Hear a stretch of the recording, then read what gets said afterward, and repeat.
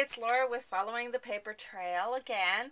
And today I'm going to do a tutorial on how I do my paper bag albums. I had a lot of requests after my Strike a Pose album as to how I do um, the um, my paper bag albums, how I did the binding like I did on this one with the canvas and that sort of thing. So thought I'd do a quick tutorial. Hopefully you can squeeze it into the 10 minutes because I'm not very good at editing. Um, you can use just standard lunch bags like you get um, in the grocery store. That's this size. I've also gotten some bags at um, Michael's. They're the Celebrate It brand that's actually distributed by Michael's. And I use the smaller size. You can see how much smaller it is. This is the size that I used in my Strike a Pose album. I have a Halloween album that I'm working on right now that I'm using the next size up, this, which is this size, which is a bit, a little bit smaller than the standard bags. What I find is with these, first off, the quality, and you can kind of see the difference in the quality of them is a little bit nicer. It's a little nicer paper. Um, and then I don't have to trim off um, the ends of the bags. So I just like using these cost a little bit more. They're like $3.29 for a bag of like 16 of them. So they're really not that expensive. But you can use just standard paper bags. Um, and what I do with these is I go ahead and fold the end up, making sure that the loose end is on, towards the inside when I fold it. Use my bone folder, or bone, whatever, whatever this dooley whopper thing is, and give it a nice fold. I then want to attach this down, um, just with whatever your favorite method is. Stick that down and fold them up. When you have two of them, this one's not hooked down yet. When you have two of them, then I like to attach this flap end together. So you'll just attach it, um, stick those together just like so. And then I end up with these units of um, um, a pair of paper bags. I usually make three, two to three of these units like this to make into um, an album. So I've got those all set to go right here. So I have three of those units to where the short ends are attached together. They're going to be in the middle.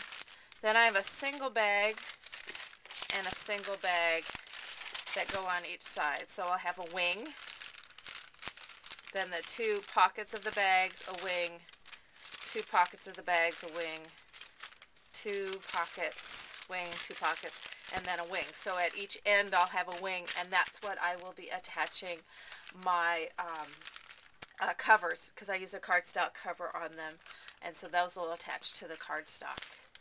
Um, what I like to do is at this point is when I go ahead and cover them with the paper, maybe get started on some of the decorating. It's just easier to work with a pair of bags and the single bags after I have those all with the papers covering them, I then will attach these all together, the big open side. I attach those together so that the pockets formed by the bags um, are attached together. And then, as I said, on each side you'll have a flap. I have a Halloween one going on right now where I've done that to where I've got the papers and I've started decorating. Got those in there just as placeholders. I'm going to pull those out right now real quick. Got those in there as placeholders. But so you can see how then I go through and start decorating it. Um, when I attach it to the chipboard, I attach that wing like you saw right here gets attached to the chipboard. I've covered it with paper prior to attaching it. On this one, it's a little bit larger, so I just attached it at the top along the um, joint and then at the bottom so that it created a pocket so that I could put some tags in there. When I did the strike a pose, I just attached it directly both in the front and the back.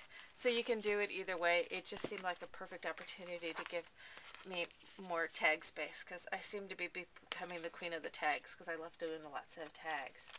Um, when I'm ready to attach the last page, I attach this last one to my back before I attach it here to the back here. Now, when I attach these, I use that super sticky red tape, and for the life of me, can't remember the name of it. Who's it even by? Um, Art X. It's pro. It's a Provocraft. Ter terrifically tacky tape by Provocraft. That's what it is. Now I use the half inch stuff, and at the end that is going to become kind of the spine of the book, I use that. I use my ATG to attach it um, at the rest of it. I also, where I attach it to my back, I use the Terrifically Tacky tape. Now on the back one, I'm going to just attach this whole thing down rather than making it into a pocket. But when I did the front one, I put the tape here, here, and here so that it created a pocket. So I will just, if I can pull this off with my fat acrylic nails, um, we'll just stick this down to the back. But I like this tacky tape because it really sticks. I mean, I can pull up the ATG if I really have to, that tape, but this stuff, man, you just can't. So this will attach, I center it because my back, my, my chipboard, I mean, is slightly larger. So I center that in, give it a good rub so that it's stuck. And then I'll go ahead and cover the rest of this with my ATG tape, pull off the sticky, and stick it down. I'm not going to do that just yet, but I'll stick it down. So then I end up, my book looks like my chipboard cover, all my pages. But I like to get some of the decorating on the pages so you know how thick it's going to be. So I have it. We'll just pretend that that one's actually stuck down. So it's all good to go. Now, the other big question I had was about attaching the canvas. Now I have painted a canvas cover. Now I cut the cover twice the length of my um, the chipboard that I'm using. Plus I added a couple inches just to allow for not knowing how thick it was going to be. So I usually allow about three inches twice the length plus three inches because that allows for the thickness of the book as well as gives me a little bit of extra that I can trim off. I also cut it about a quarter of an inch wider than the book. As you can see here, I cut it a quarter of an inch wider. By the time I painted it and blow dried it, it shrunk down that quarter of an inch so I didn't have to trim it in width. So make sure you cut it a little bit wider. Now I painted this with shiny black acrylic, some purple, a couple shades of purple and some green like I did on the tag tutorial, the canvas tag tutorial. Um, I also like to add a D-ring like I did on my Strike a Pose here um, to give me a place to hang some fibers and stuff on. So what I did is I just lay this onto my cover, kind of wrap it around, guesstimate about where the center is, and then I marked it with a pencil um, with taking one of these Tim Holtz D-shaped split rings and then marked where I needed to punch the holes. Used my Crop-A-Dile one, the big one, so that I could reach in and um, then put in my um, eyelets and those extra large eyelets by making memories. Um, I had some green ones, so that worked out perfectly. So at that, so you can see how here's the canvas that's longer. So have that on there, but you need to put those in and put the ring in before you attach your canvas. So I just open the ring up, stick it down into the holes, and close it up. So it's installed before you attach your canvas. When I'm ready then to attach my canvas, I again use this terrifically tacky tape all the way around. I'll use my ATG here in the middle and I will line this up attaching the front so it's right where I want it to be. Then I will bring it around to the back.